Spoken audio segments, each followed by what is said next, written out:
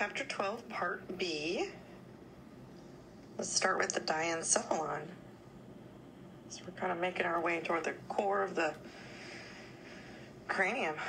The three um, players in the diencephalon are, are all paired. The thalamus, so there are actually left and right lobes to that. Hypothalamus, actually left and right, sort of almost lobes to that. And epithalamus, also paired. Okay, these are all gray matter structures, by the way.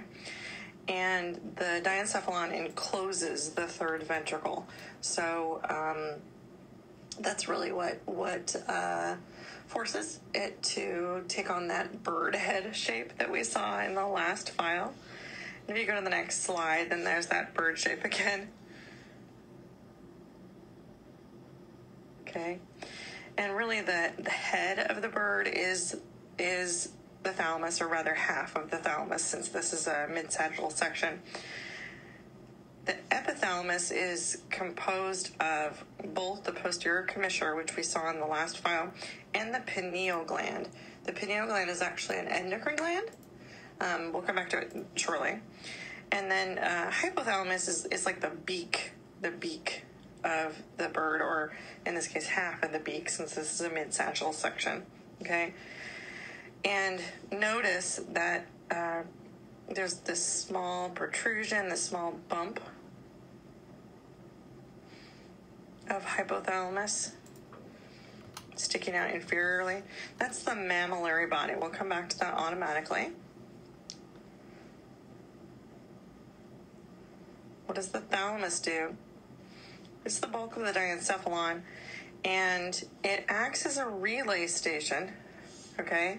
But specifically for sensory info, sensory input.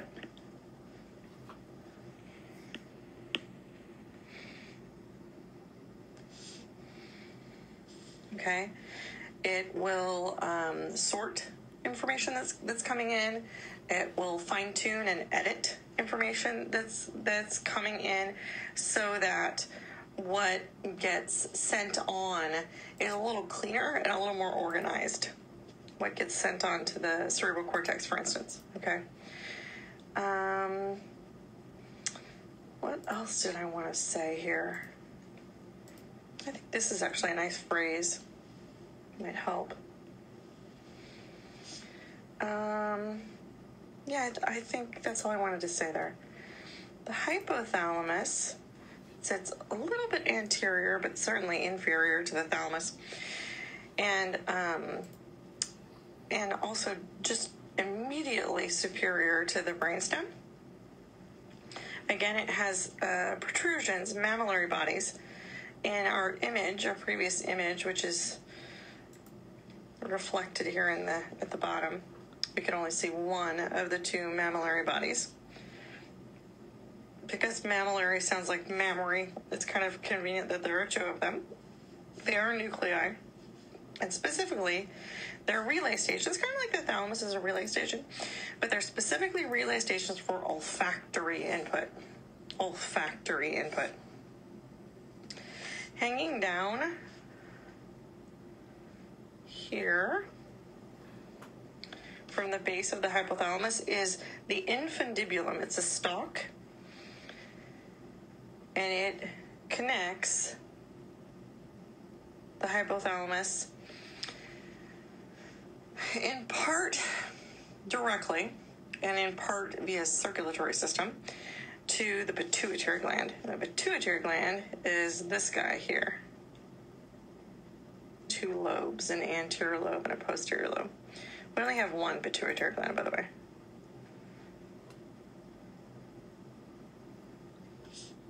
Okay. And the hypothalamus has oodles of jobs. In fact, let's go to the next slide. We need to be able to list all seven functions of the hypothalamus. The hypothalamus is the boss of both the endocrine system and the autonomic nervous system. The hypothalamus initiates the motor plan for our responses to emotion and is therefore part of the limbic system. Emotion, limbic, right? The hypothalamus regulates body temperature, regulates hunger and satiety or uh, fullness, regulates water balance and therefore thirst, and with our pineal gland helps to regulate sleep wake cycles. So one, two, three, four, five, six, seven functions.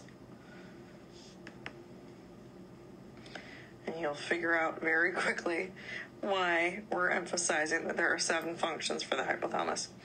The epithalamus, the epithalamus, again, is comprised of pineal gland and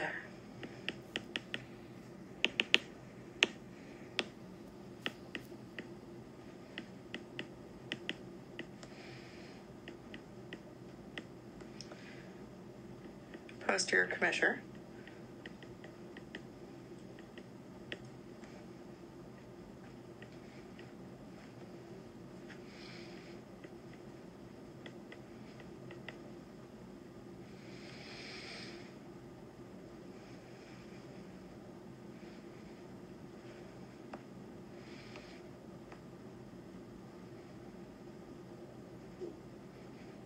The very posterior edge here of the diencephalon. If that's a bird's head, then I imagine it's occipital bone for that bird. The pineal gland, again, is a is an endocrine gland, and uh, its hormonal product is melatonin. Melatonin. You'll study the pineal gland and melatonin more closely in um, 242. Uh, the pineal gland, which I'm color coding right now poorly. I color coded it brown. That's not going to work. Here, I'll make it yellow. Here. Is actually named pineal because it's shaped like a pine cone. And I, I may do I have an image coming soon where you can see that? I don't think I do. Oh, yes, I do actually. Um, one of the very last slides. I'll try to remember to point that out. Anywho, let's move to the next slide and start talking about the brainstem. Remember the brainstem um, features nuclei, gray matter nuclei, um, sort of swimming in a sea of white matter, but no cortex. So it's kind of a transition from cerebral layout to spinal layout. And it's also going to act as a sort of bridge that's going to connect our um, cerebral functions to our spinal functions, and really ultimately um, cerebral functions to even the, the peripheral nervous system. Okay. Many, many, many of the cranial nerves are um, housed here um, in terms of, in terms of their uh, their cell bodies. Their cell bodies are housed here. And the brainstem is comprised, as you probably already know, of the brainstem, the pons, and the medulla in that order from superior to inferior. I just caught myself saying brainstem, pons, medulla. Midbrain, pons, medulla. Let's look at their layout. In the next slide, we're looking at a ventral view. Here are those two lobes of thalamus. Okay, here, peekaboo, peekaboo. Here, I'll zoom in so you can really see what I'm circling. These two, those are mammillary bodies. This, right here, is actually the cut infundibulum. Okay. Midbrain is this green stuff here versus pons versus medulla.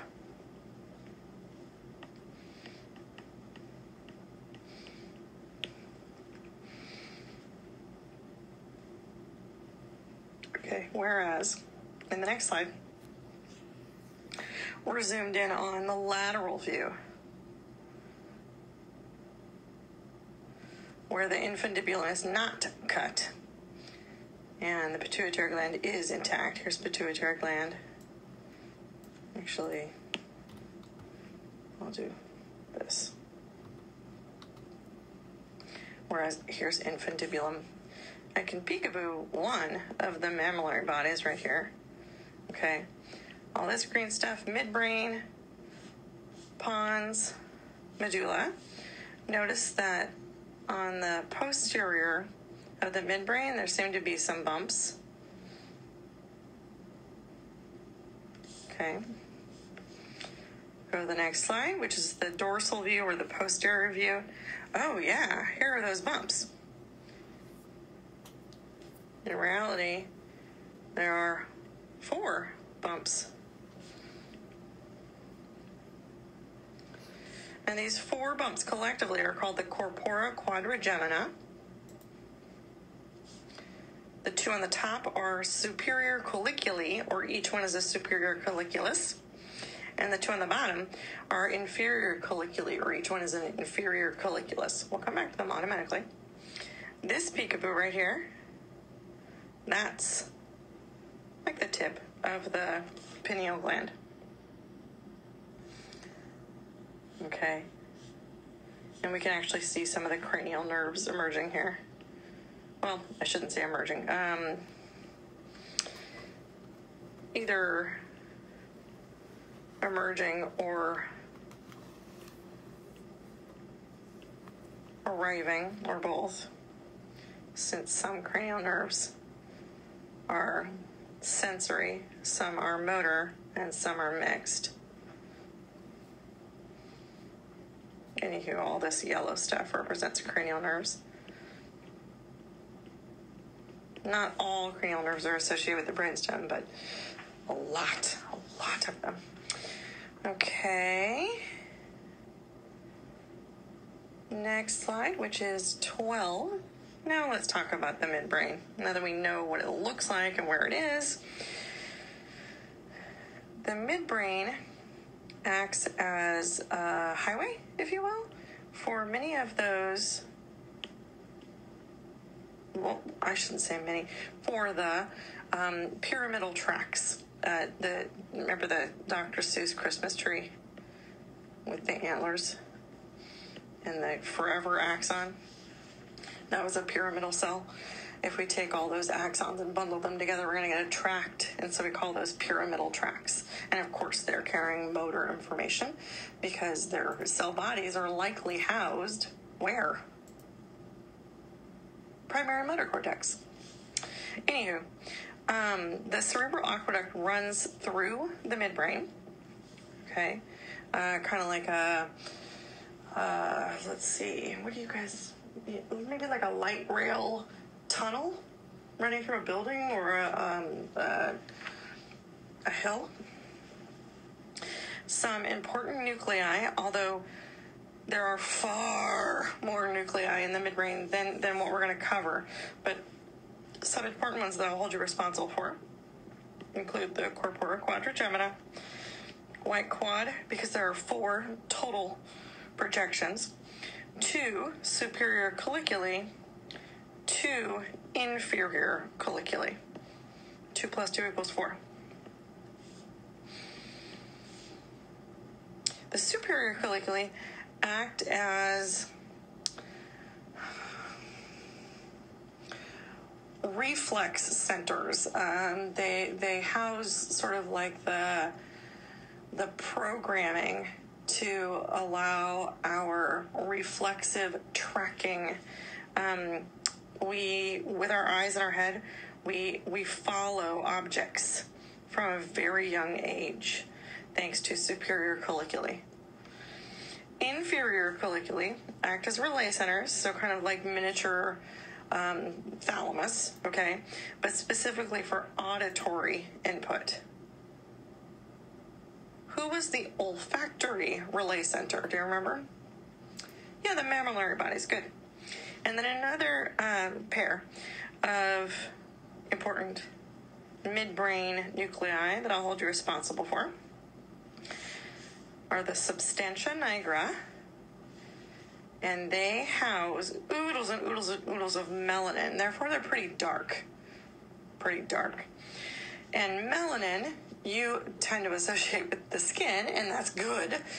But uh, melanin, being a pigment, um, it, it, it acts, it uh, serves one function in the epidermis, it serves a different function in the brain. It actually is a precursor to dopamine. And by the way, Parkinson's disease is uh, hmm, preemptive, uh, premature degeneration of substantia nigra. If we look at the next slide, here's a cross section through the midbrain. And here are one, two paired nuclei called substantia nigra. Here are some nuclei I did not assign, but you might be able to guess what they're called.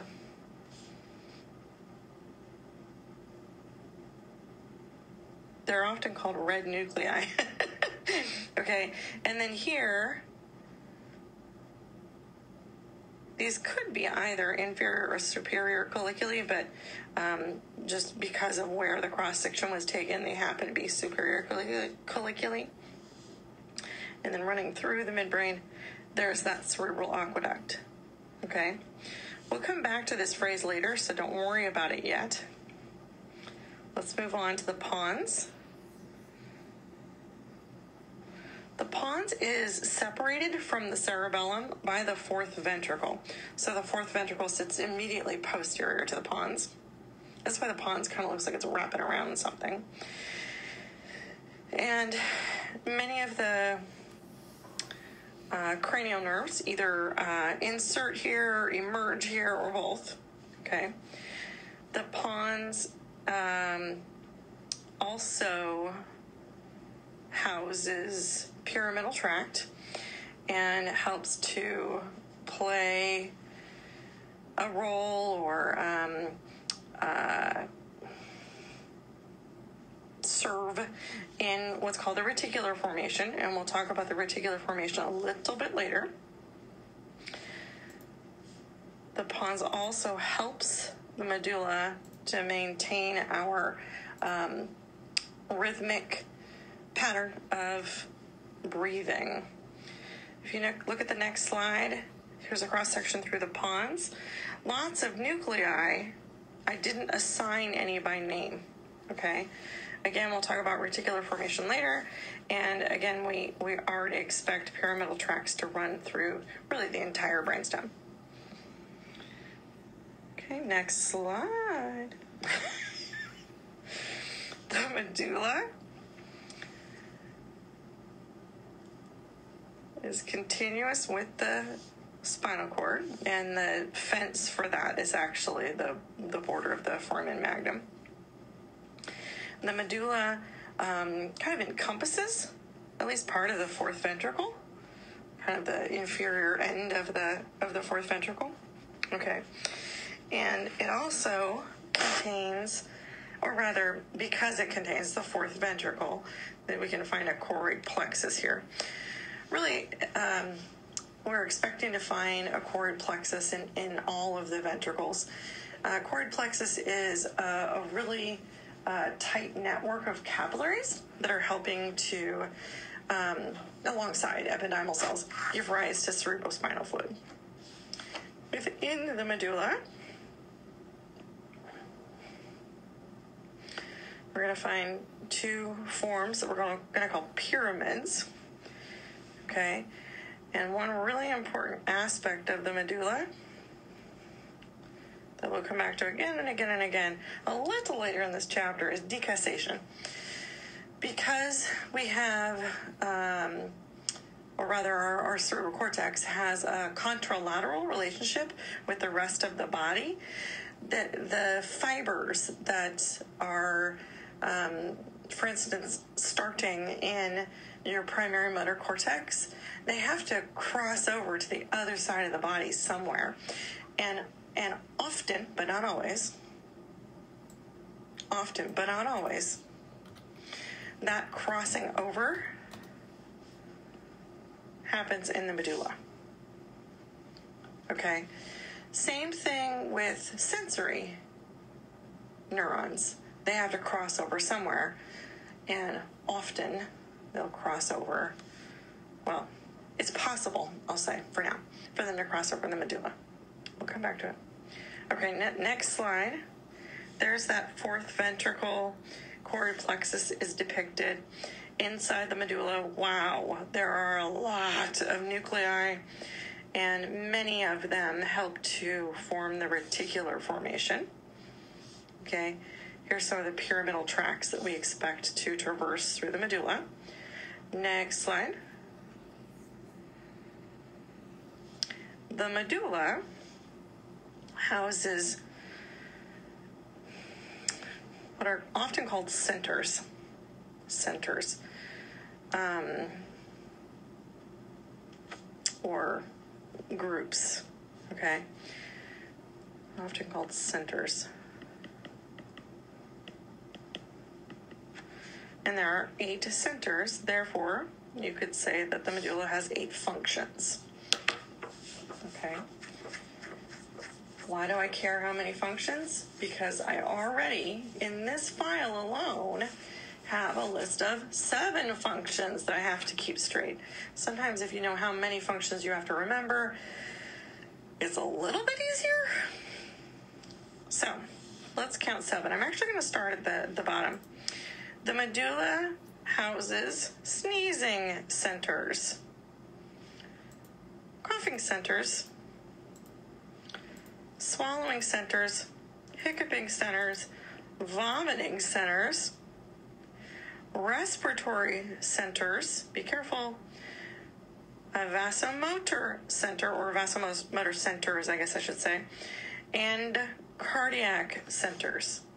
Every single quarter, students come to me and they say, How come there are only seven centers listed on the slide, but you say there are eight? It's because there are two cardiovascular centers. One to help control the force of contraction and the rate of contraction in the heart, and one to help adjust blood vessel diameter. And the probably the one well the the centers you'll it'll come back to haunt you the most are going to be these guys because they're going to come back up in 242. Anywho, next slide. Now we to start talking about the cerebellum. Cerebellum is very posterior and uh, a bit inferior to at least the, the cerebral cortex.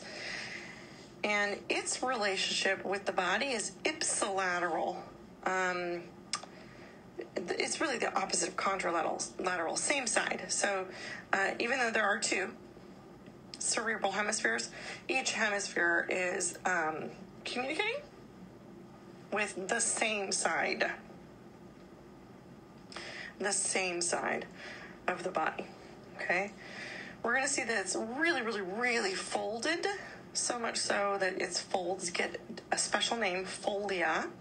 The two hemispheres are connected to each other via a bridge that's called a vermis. And inside the cerebellum,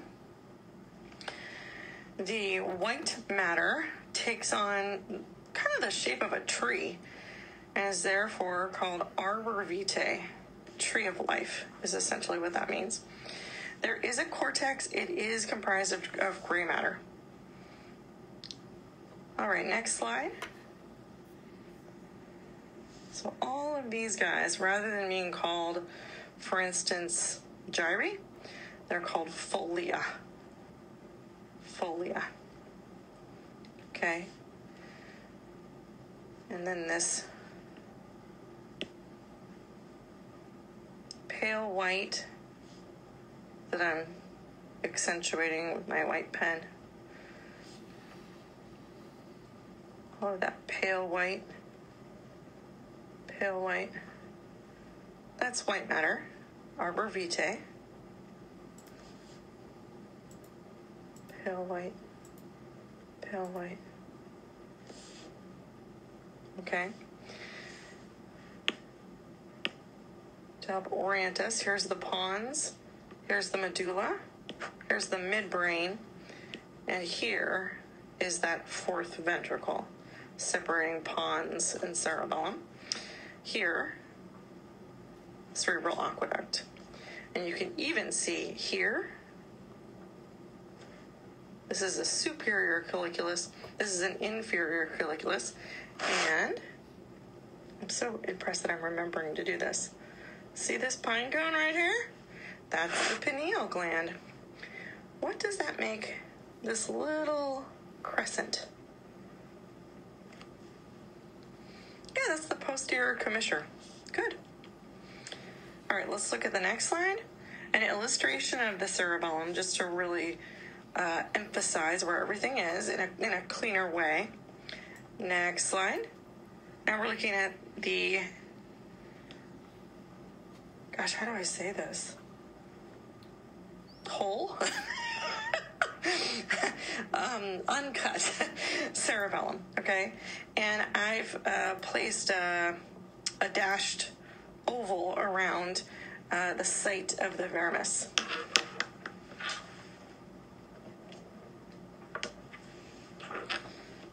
Looks kind of like a worm, like a segmented worm. And actually, that's what vermis means. All right, next slide. The cerebellum. Did I just say cerebrum in the previous slide? I hope not. Cerebellum. Um, the cerebellum is actually getting information from many, many places. It's getting information from the cerebral cortex, it's getting information from the brainstem, but it's also getting information from sensory receptors, especially general sensory receptors like somatic sensory receptors, and therefore is um, a, a fantastic editor because it's getting so much input, it's getting so much of the big picture that it um, can do its job really well. And one of the the specialties of the cerebellum is math. It determines the mathematic feasibility of a proposed motor plan. Isn't that cool? So it's kind of like a forensic mathematician. It determines trajectories. Can you get there from here? will will that motor plan get you to that place? Just just fantastic. So fascinating.